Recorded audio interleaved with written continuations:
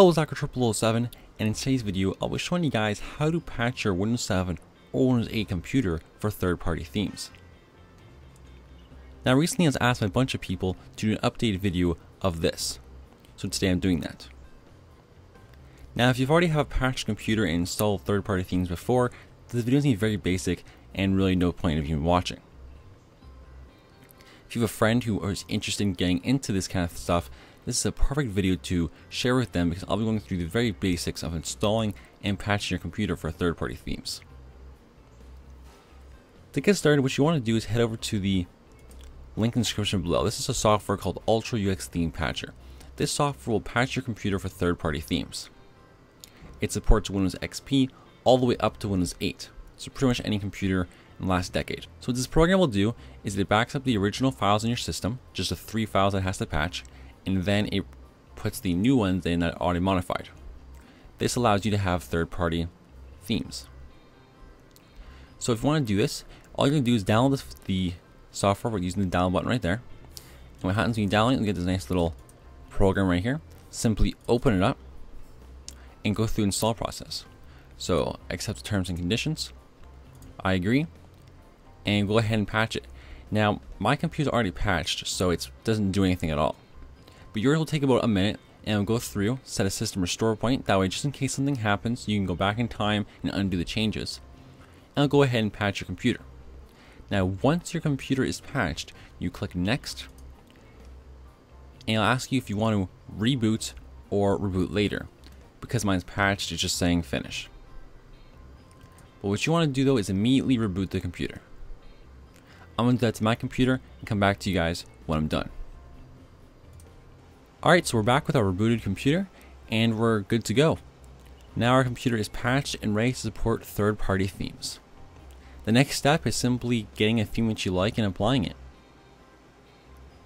Now there's many different places to search for themes. Simply searching on Google will get you a lot. You can also go into my channel and if you go to my channel you can either look at the Windows 7 or Windows 8 playlists and there you'll see a bunch of themes for Windows 7 or Windows 8. Also in the description below, I'll include some links to some good areas. Anyway, now I'll show you guys how to install a theme. So most themes work the same, what 95% of them. Some are different, some install themselves automatically, but most themes will show up like this. So as I can see, we have this folder, so I'm going to extract it to the desktop to show you guys what's inside. So this is how most themes are going to work.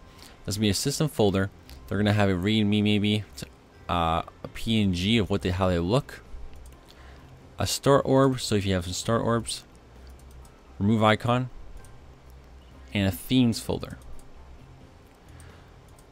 Now some themes are different, some themes won't have any of this, they'll have just themes folder, some won't have star orb, it depends on the theme, but they all work generally the same. So now I'm going to show you guys how to install this theme. So I'll have a link to this theme by the way in the description below as well. So what you want to do is simply open up this theme folder and pan it to the side here. Then what you want to do is open up this PC or my computer, depending on whatever you're on, and put it on the other side of the screen so it's nice and easy to navigate. Then what you want to do is head over to the C drive of your computer, the local disk. Then what you want to do is head over to the Windows folder. Then scroll down to the R section. You see resources. Open that up. Then open the themes folder. And I simply paste in the theme files. So you're going to need to paste in a .theme file and a theme folder. So look through your theme for those two files. So right here I have the dark cyan.theme and dark cyan folder. We're simply going to move them over to this themes folder here.